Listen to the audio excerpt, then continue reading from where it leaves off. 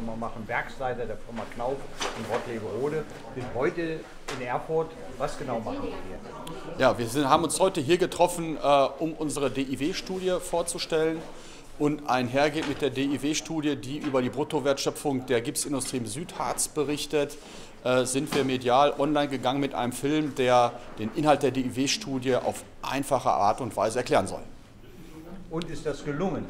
Äh, ich denke durchaus, also ein wirklich äh, guter Film. Besonders wichtig für uns, dass äh, in dem Film sehr viele Protagonisten der Region das Wort ergreifen und im Grunde genommen den Zuschauer mitnehmen auf eine Reise und dort auf einfache Art und Weise erklären, warum der Gipsabbau bzw. die Gipsverarbeitung im Südharz so wichtig ist.